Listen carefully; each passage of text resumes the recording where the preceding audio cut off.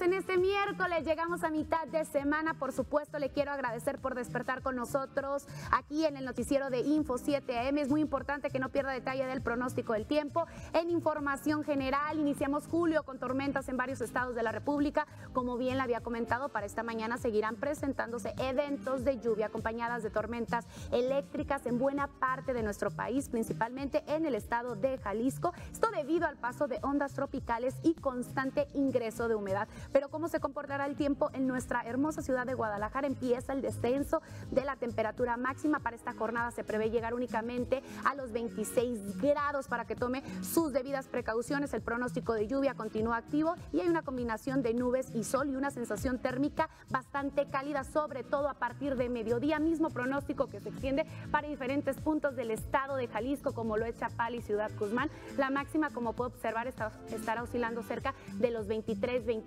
grados, temperaturas bastante agradables en la zona altos norte, como lo es Lagos de Moreno, iniciando con los 16 grados, que irá aumentando gradualmente hasta llegar a una máxima cerca de los 25. Pero cómo se comporta el tiempo en la zona costera, gotas ocasionales estarán haciendo presentes, sobre todo por la madrugada, aún así una mañana completamente templada, ya que la temperatura inicial se reporta cerca de los 25 grados y se prevé llegar cerca de los 30. Tanto para Colima y Tepic hay una combinación de nubes y sol, la estará oscilando cerca de los 25, Tepic reporta arriba de los 30 grados y Aguascalientes, lluvia la mayor parte del día estará lloviendo para que lo tome en consideración, despertando con una sensación térmica bastante fresca, la temperatura inicial se reporta cerca de los 15 y se prevé llegar únicamente a los 27 grados. Hasta aquí llegaron los detalles del pronóstico del tiempo, pero le quiero compartir la frase de este miércoles. La decisión más valiente que hacemos cada día es la de intentar ser felices, pase lo que pase.